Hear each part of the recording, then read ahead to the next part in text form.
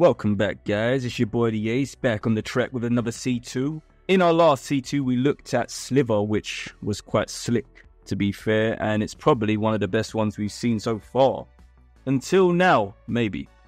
So, today we're going to be looking at Covenant.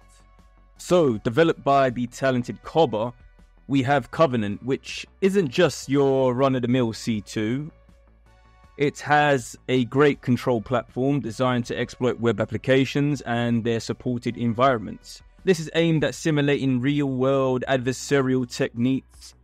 It helps security professionals build robust defenses and so much more. So, Covenant's architecture is crafted in the flavor of C Sharp. It boasts scalability, allowing easy integration with support for multi-user profiles and databases like SQLite, MariaDB, PostgreSQL, etc., etc. What I do like about this, aside from the operational listeners that you get in most C2s, is the grunt aspect. These are like the foot soldiers of an ancient warfare warrior and the agent that communicate with the Covenant servers, conducting their missions in mostly a stealth based approach. Now, that's enough theory for now. Let's hit over to the lab and let's see what this looks like. Now, if we head over to the GitHub repo, we can see Covenant C2 available in all its glory. We have the 12 contributor list headed by Ryan Cobb. And as you can see, here's what the interface looks like. We have a quick starter guide and install setup. Now, in terms of installation, the only issue I had with this, and I've experimented on a few Linux flavors with this, is installing this 3.1 SDK. That was the only issue I ran into. Other than that, it works a treat. Now, you can see here you got your basic commands to git clone, cd into the directory, and then run this .NET. Now, it has to be 3.1. If it's not, the C2 just simply won't run. Now, here is one I prepared earlier, as it were. If we run .NET and then TacTac version, we can see I am running 3.1.426. Now, in order to run the server, we just simply type .NET space run. Now we can run that. Right, now that's running, you can see here it starts the Microsoft Entity Framework model it validates it and it gives you a covenant has started and navigate to your local IP with a specific port it gives. Now, if we browse to this location, now when we browse to this location, we're given the splash page for covenant, and on first install, you'll be asked to register. Already pre-registered already, so just just go ahead and log in. And bam, we're in. So once we're in, we get a very nice GUI with a lot of information. So we could change the theme, can edit the roles here. And then we have a dashboard that listens for the grunts. We have a listener and we have any tasks that we may be running. So let's see what this looks like from a demo perspective. First of all, we have listeners. Now, you can have profile for listeners, and they have several here available, and you can keep creating more profiles. And they have a create feature. Now, you can create various types of listeners, which I really like here, and you also have a bridge listener as well. If we have a generic HTTP listener, we can specify binding ports, connection ports, and so on. And then you can also specify what kind of profile is it a custom HTTP profile or a default profile, and whether you want to use SSL or not if you have a certificate handy. The connection address, you can either leave it as your loopback address, but considering it's my attacking box I'm using, I would like to use the box's address itself. So if we if config that, highlight that, and then we could paste that address inside there. Lovely. And then we can create this profile. Now we have an active listener and it's using port 80 here. there we have it. Started here. Now, next we have what is called launchers. Now, launchers give you the ability to launch deployments using different formats from install utilities all the way to W scripts, and they have descriptions for each one here. Now, a launcher is a grunt, but in disguise. And ideally, once these are deployed on victim machines, you would expect to receive some sort of callback. Now, the launchers are bound to the listeners automatically, so that's done dynamically on the framework, which is really handy. Next, we have grunts, and these will report in as and when a launcher is successful. We have templates as well, different types of templates written in different languages. We have tasks, and then here's the various tasks or commands that a grunt can potentially do. And it gives you a description for each one here, which is quite nice. You have task skins, and these are specific tasks that are given to grunts based on what time and completion you want them to happen. We have this graph, which is quite nice from a UI perspective because it gives you an overview of not only where the listener is, where the grunt is, but their relationship as this expands. Lastly, you have data, which is kind of the stuff you've harvested in your red teaming endeavors, and we've already seen users. So that's it from an overview perspective. Launchers. So, as a basic level, we had a PowerShell launcher.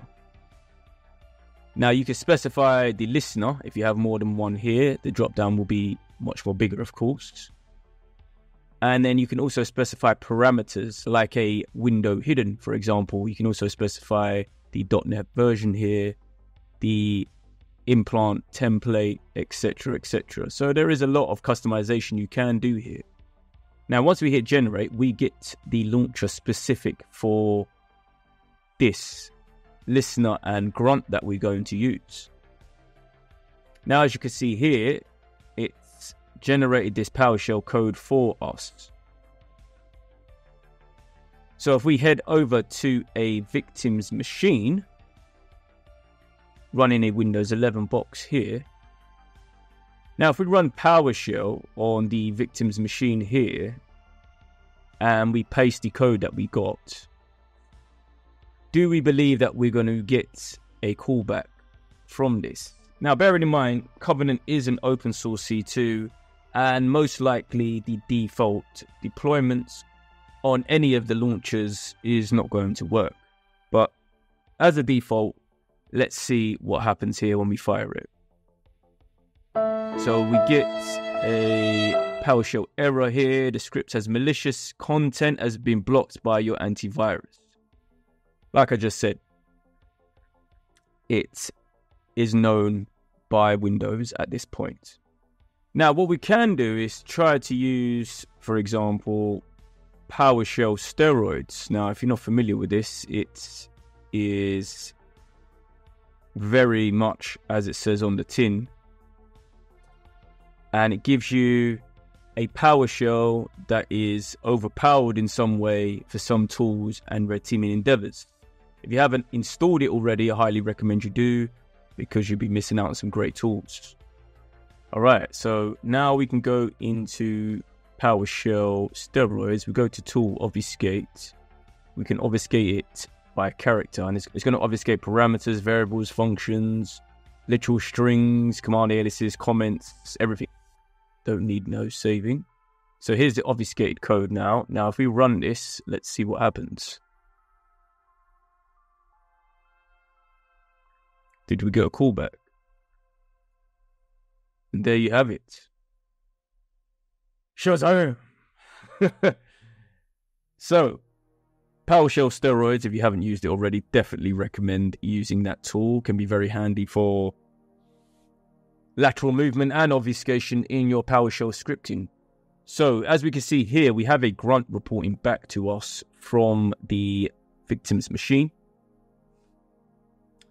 Now, if we go into here, we can see the details of the victim's machine. We can see we have an active grunt, and we can also interact with that grunt if we really wanted to. We have tasks that we can send, and we have tasking that are sent. Now, interaction. All right, so let's do the classic Jackie Chan. Who am I? Send that off. That's been submitted.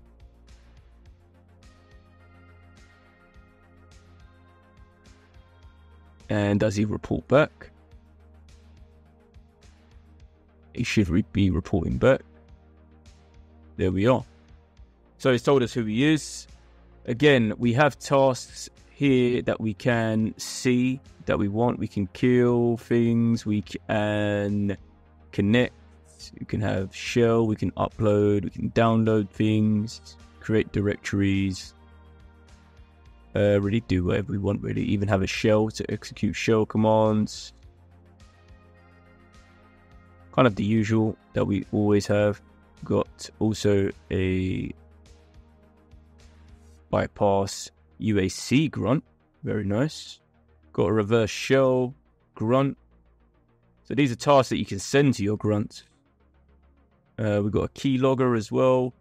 Got Kerberos, port scanning. And there's so many. Amazing. Do we have screenshot? Yes, we do. So let's go back to our grunt and ask him to take one. Here, I love this. It comes up dynamically as you start typing, so it helps you find what you need. Screenshot's been fired off. I remember the graph section I told you as well. So here we can see the listeners communicating with this grunt. Very nice. Here's the tasks that we gave. Here's the screenshot tasks. Not sure where the screenshots are saved, but it looks like the task was completed.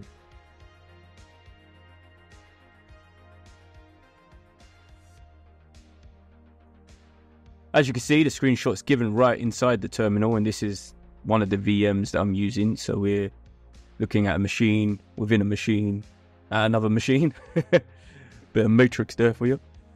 Um, and yeah, really slick, really nice. Can loads of versatility here. Um, and I think that's where I'm going to leave the lab demo. Now, as post exploitation tools evolve, they play a pivotal role in both the offensive and defensive realm of cyber security. Now, ethical hackers use them to simulate real world attacks, refining their techniques to bolster on security. Now, Covenant for me stands out in this space with its comprehensive features, slick UI, and the capacity for collaborative efforts. Now, with its open source nature, most of the launchers won't work out the box, and that's where the skill is going to have to come in. Wrapping this up in terms of C2, Covenant is truly signifies what it looks like for a modern C2. Now, we've seen predecessors in the past, like PowerShell Empire, and it imposes the advancements that red teaming tools look like in a modern attack space. For those of you yet to experience Covenant, it's high time you dive in and don't miss out. If this review has enlightened you in any way to get on board with the C2s out there, don't forget to hit the like button and subscribe. Leave your thoughts, experience, and comments below about Covenant. If you ha- if you're having any trouble with it, definitely either join HT or leave some comments below. Stay safe in the cyberspace. Peace out.